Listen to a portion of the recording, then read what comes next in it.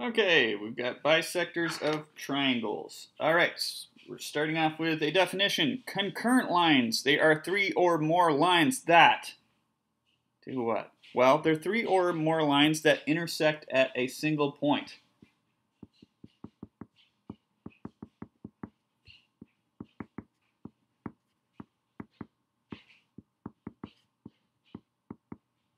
Okay, so, hey, if we've got three lines, none of them are going to be parallel. They're all going to be on the same plane.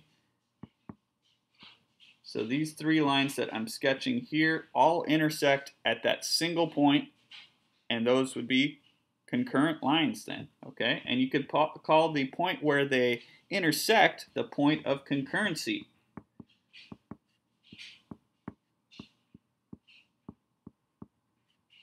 And a large part of this um, chapter is going to deal with different types of points of concurrency. And we've got two of them in this section, okay?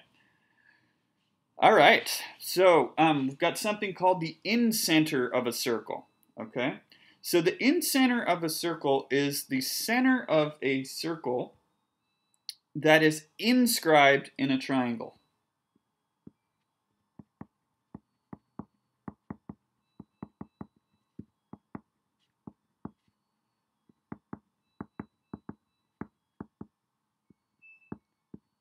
It's the center of a circle that is inscribed in a triangle, okay?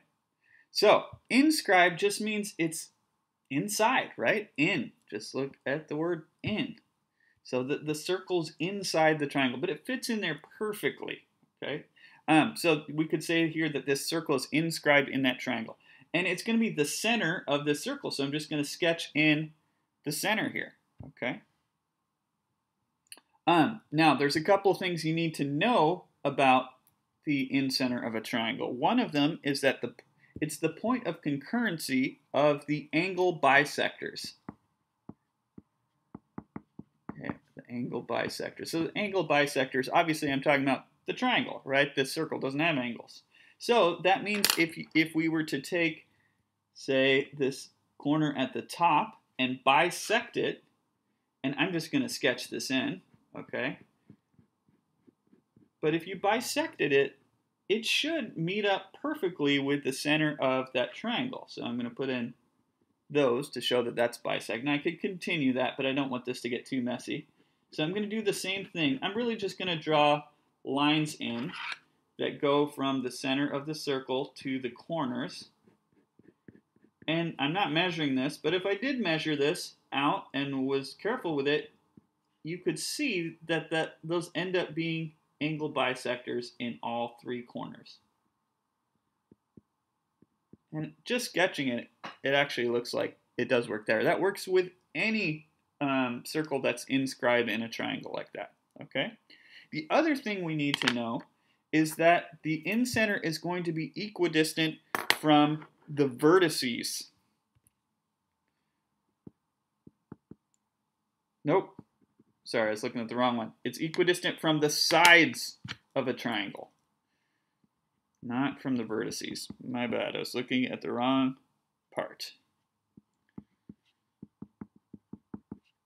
Equidistant from the sides of the triangle, okay? So, if I'm talking about this point and I want to talk about the distance from here to this side, I'm going to go the shortest possible distance, which would be the perpendicular distance. So I'm just going to sketch in a little segment at a right angle right that, like that, okay? And I'm going to do the same thing going down to this side from the center. And then also to this side from the center. And you might notice it's actually the those points where the circle meets the triangle. Okay, and um, all three of those distances are going to be congruent to each other. So um, yeah, those purple spokes that I have there are all congruent because um, the incenter is equidistant from the sides of the triangle. So I'm going to put four dashes on each of these. One, two, three, four. Just so it doesn't get confused with the angles. Okay. I guess I could have put one. Obviously, it's uh, the segment's not congruent to an angle, but there we go. So that's what you need to know about the incenter of a triangle. There's kind of a lot to digest there. Um, but let's uh, let's take a look at an example. I'll keep that info on the screen to help us with this problem. Okay, so this tells us that n is the incenter. Okay, good to know. All right. So then um, somehow I want to solve for x. So they're telling me that nd, that's I'm just gonna label this a little bit. nd, that's that piece, is 5x minus 1. Okay, and then ne right here is 2x plus 11. Okay, well, since this is the incenter, um, that means that um, the distance from this, the center to all of the sides is going to be congruent. Okay, and since I can see that those are the points where the circle and the line meets, that means I know that those actually are the shortest distances. And all three of those would be congruent. And I don't really care about the piece on the bottom for this particular problem, but the fact that those two are congruent lets me say, hey, 5x minus 1 equals 2x plus 11.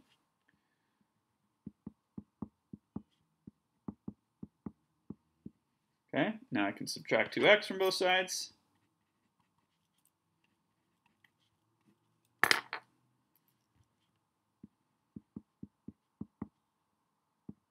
Add 1, running out of space here and then divide by 3, and x is going to come out to 4. Okay. All right, next up, find ND. Here it is. There's ND. But let's find the length of it, right? So what I can do is plug my x value in there for x, right? I already know that x is 4, so ND is going to equal 5 times 4 minus 1 that comes out to 19. Find NF. Well, NF doesn't have, um, have any expression for me to plug anything into, but I already know that those two are congruent. And I already figured out that this one is uh, the 5x minus 1 comes out to 19, right? So that means all of these are going to have a value of 19 because they're all congruent, right? These are all 19. And then so I could say, okay, well, this one's 19 as well. Okay.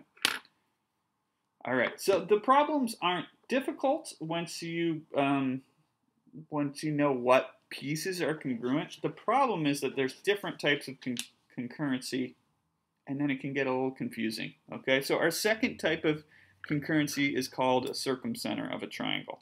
Okay, and here's how this is going to work. Okay, the circumcenter of um, a triangle is the center of a circle that um, passes through all three vertices.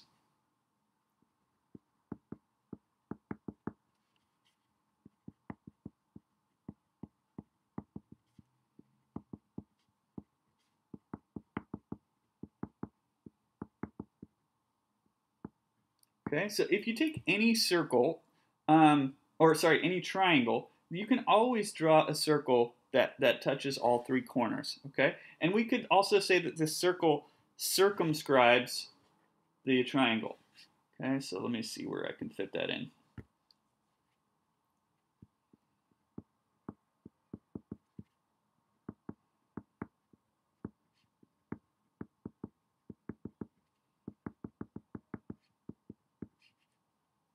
Okay, so in this picture, the circle circumscribes the triangle. The circumscribe means it's on the outside, right? The triangle is inscribed, the circle is circumscribed. If I look at this one, here the circle is inscribed, the triangle is circumscribed, okay? Like if you think about circumnavigate the earth, means you're going around the outside of the, the earth, like Magellan, right? Okay.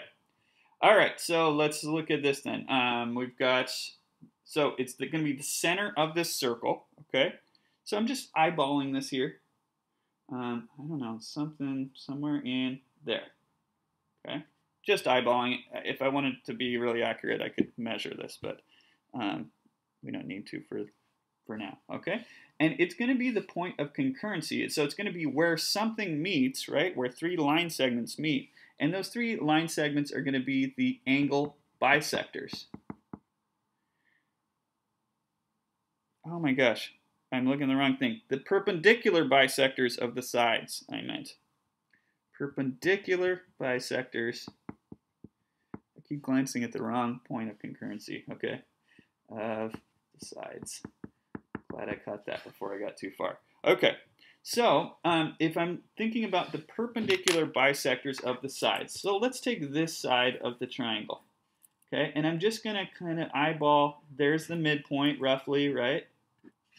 And then I'm going to draw a perpendicular line, and I'm just going to make it go to that center, because this is all sketches. But this would be the, um, the um, perpendicular bisector there, okay? Let's do the same thing with the bottom of the triangle. If I cut that in half, something like this, and then draw a little perpendicular segment like so, we can do the same thing on this third side. And again, in this all freehand, but we could measure all of this out if we wanted to be accurate. And if you actually did take the time to draw in the perpendicular bisector nicely, all three of them would meet in a single point. That single point, I can see I was a little off here, would be the circumcenter of the circle. And, and um, yeah, and that's going to be also the uh, point of concurrency of the angle of the perpendicular bisectors at the sides of the triangle, okay? And this is going to wind up being equidistant from the vertices of the triangle.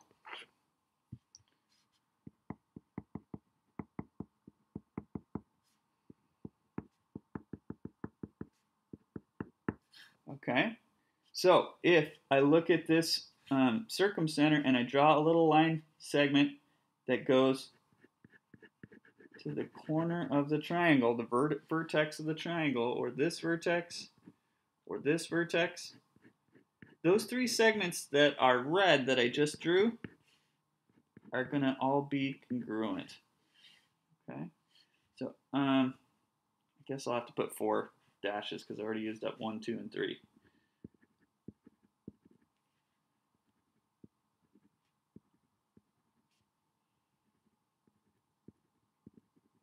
Okay. All right.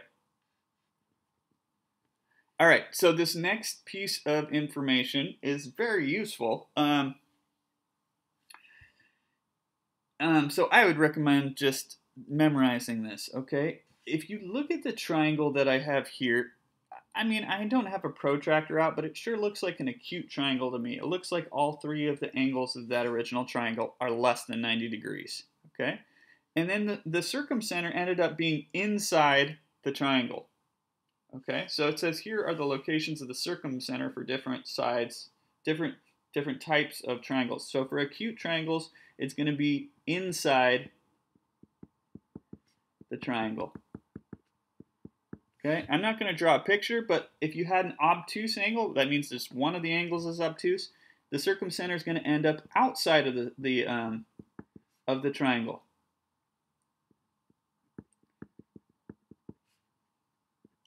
Okay? And if it's a right triangle, it will be on one of the sides of the triangle, okay? And it's a right triangle, one of the sides of the triangle is going to be the hypotenuse. And so it's since it's on it's going to be it's going to wind up being on the hypotenuse. So it's actually going to end up being the midpoint of the hypotenuse. So this one's going to be on um, a side of the triangle. Okay, and I'm going to put in parentheses, this is going to be the midpoint of the hypotenuse. That's going to be a great way to check your work if you're dealing with a right triangle and actually to use a really nice shortcut. Um, okay, so let's look at a couple of problems.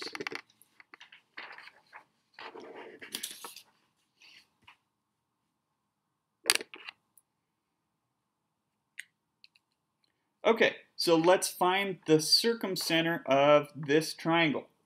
All right, so first thing that is um, jumping out at me here is that this triangle is a right triangle. I can see that because, hey, this line's vertical and this one is um, horizontal, okay? So that's gonna be, that's great news. That's gonna make things a lot easier in two different ways.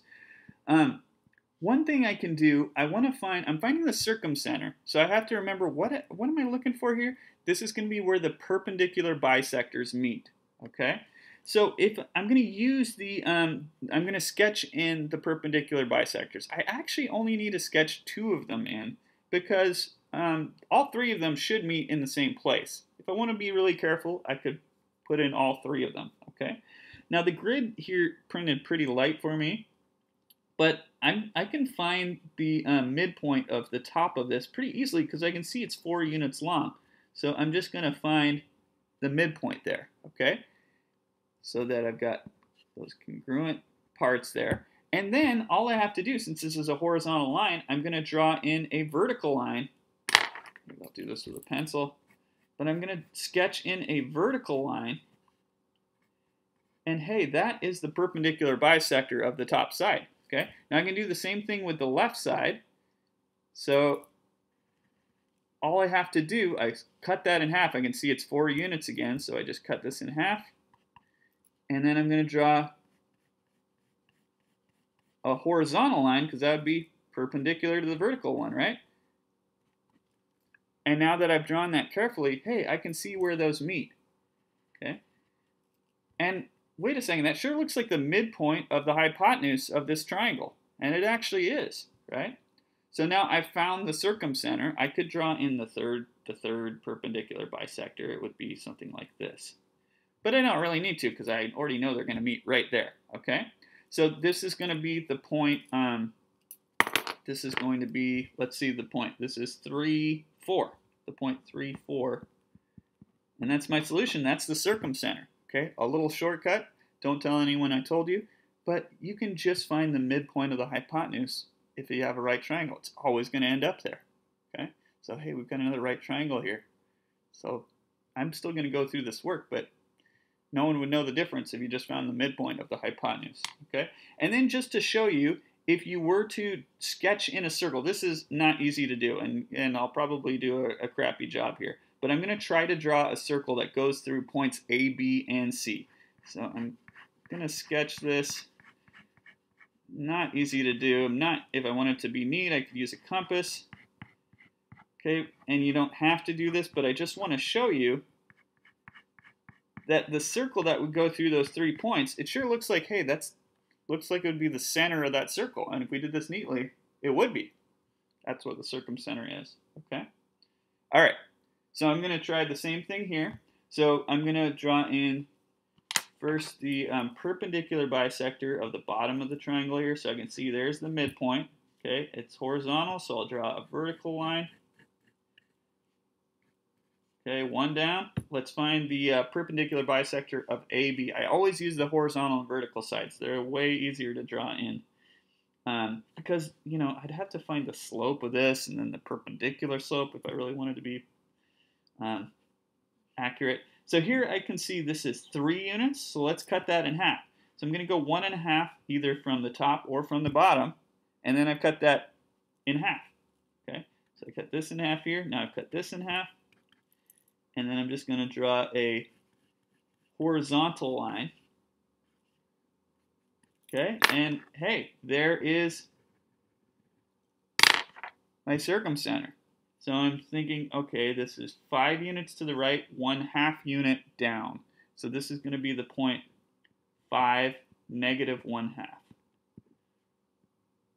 Or you can say negative 0.5 if you want. I don't care. Okay? And again, if you drew in, sketched in this circle, I'm going to spend a bunch of time doing this, but if I sketched it in and I did a nice job, you'd be able to see that that's going to end up at the center of that circle. Okay? That's it for this time. I'll see you next time.